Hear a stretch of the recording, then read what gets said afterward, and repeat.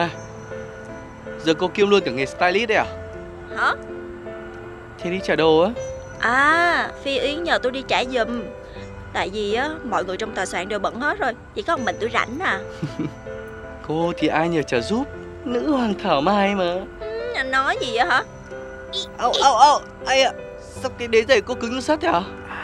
Thôi, anh có ngon á Bớt đó tầm sạc ba lát này đi lẹ giùm tôi đi Đi, đang đi gì á à. À, alo, ờ, Phong đã đến chưa? Mình đang ở rạp rồi nè. Mình sắp tới nơi rồi 5 phút nữa thôi Xin lỗi nha À, thôi Phong cứ đi từ từ, không sao đâu. Vẫn còn thời gian mà. Đi cẩn thận đó nha.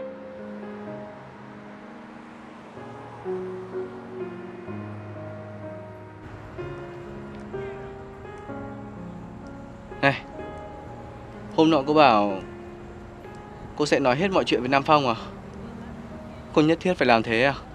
Thì tôi đã kể với anh rồi đó. Tôi đã hẹn với anh ta sau buổi chụp hình bìa. Lần này thì nhất định sẽ nói hết. Mà cũng tại anh á Tự nhiên đột ngột xuất hiện mũi né à Chứ không là tôi đã nói hết rồi. Ê, Đúng là. Đột kỳ đã cắn mũi Đột kỳ đã cắn mũi nè. À, cô đang muốn nhận lại bạn bè cũ. Hay là cô muốn tìm lại một thứ tình cảm khác, kiểu như tình cảm trai gái?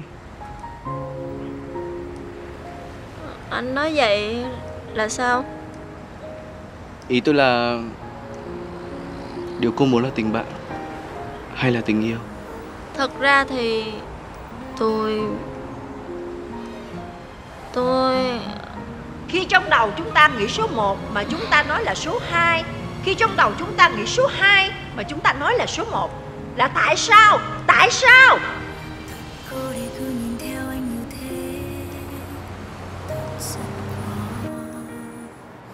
Em vẫn giấu bản thân mình sau những nụ cười ngốc nghếch ấy.